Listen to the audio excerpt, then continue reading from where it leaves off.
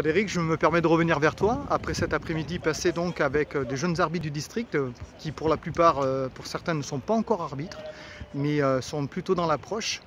Quel est ton retour et ton ressenti sur cet après-midi? Bah, Déjà ce qui fait plaisir c'est de voir que ce sont des jeunes qui sont motivés parce que voilà, ils se sont donnés à fond dans les ateliers. bon, on voit bien sûr que ce sont des débutants, hein, parce qu'il bon, y a encore pas mal de choses à corriger, beaucoup de choses même à corriger. Mais en tout cas, ce qui, montre, ce qui est très intéressant, c'est leur, leur motivation et leur implication. D'accord, très bien. Tu as été accueilli aujourd'hui donc euh, au FCE Mérignac-Carlac. Je crois savoir que tu découvres un petit peu les installations euh, d'Arlac. Oui, je découvre ça. Euh, ça fait envie hein, parce que vraiment là on découvre des installations qui sont extraordinaires pour ben, pratiquer le football et même l'arbitrage.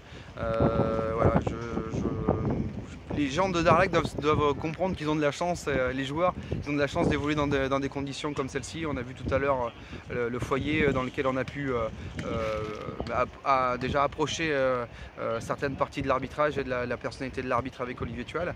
Et juste à côté, on descend et on est là sur ce terrain magnifique où on peut vraiment pratiquer l'arbitrage et le football. D'accord.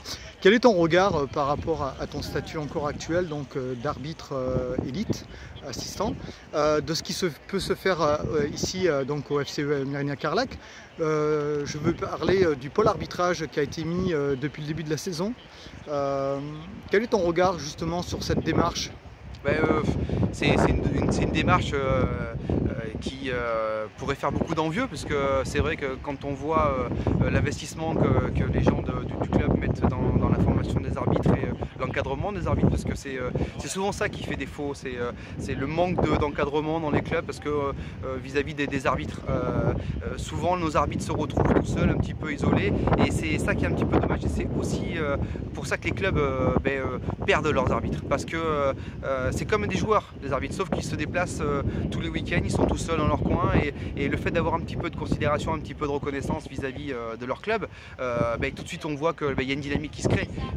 voilà, là comme cet après-midi, on voit qu'il y a des jeunes qui viennent, qui ont envie de, s'investir dans l'arbitrage parce qu'ils se sentent soutenus.